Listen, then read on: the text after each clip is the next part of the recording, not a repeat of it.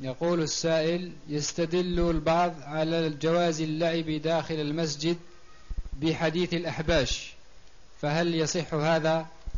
يا أخي الأحباش هم يلعبون لعب يلعبون لعب جهاد يتدربون على السلاح يتدربون على السلاح والحراب وهذا من وسائل الجهاد في سبيل الله.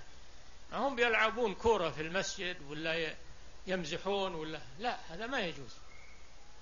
هذا لا يجوز في المسجد. لكن اللي فعله الأحباش هذا من التدرب على الجهاد وعلى السلاح. نعم.